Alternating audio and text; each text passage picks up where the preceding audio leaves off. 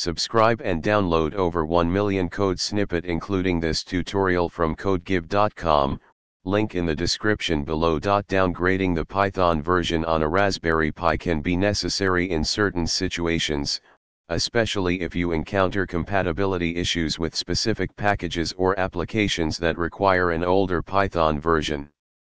In this tutorial, we'll guide you through the process of downgrading Python on a Raspberry Pi, step by step. Note, make sure to back up your important data before proceeding, as modifying the Python version can affect the system's functionality. Open a terminal on your Raspberry Pi or connect via SSH and check the current Python version installed. Before downgrading Python, ensure your system is up to date. Install the Build Essential package, which includes compilers and other tools needed for building software.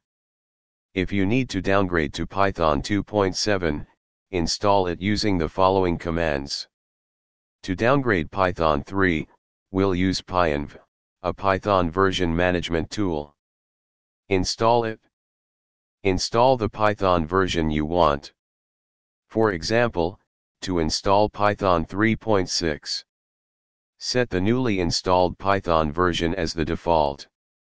Check that the Python version has been successfully changed. Update pip to match the installed Python version.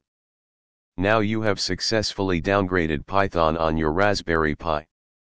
Remember that using older Python versions may have security implications, so only downgrade if necessary, and consider other solutions like virtual environments or containers if compatibility issues persist. ChatGPT